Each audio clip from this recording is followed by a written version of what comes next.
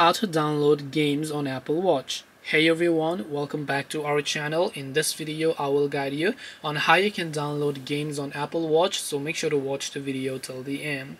Now maybe you want to download games on your Apple Watch. Remember that all you have to do is to simply go ahead and then make sure that you are equipped with an app store. So right here you can see a certain app store that we have. Now our apple watch comes with an app store so now we can open app store.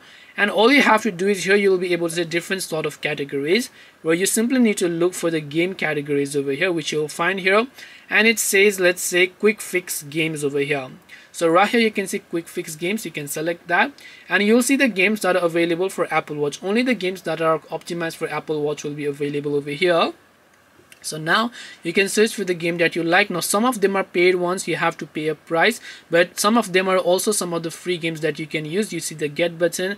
You can tap the get button here go ahead and verify it and then after that you'll be able to go and download those games.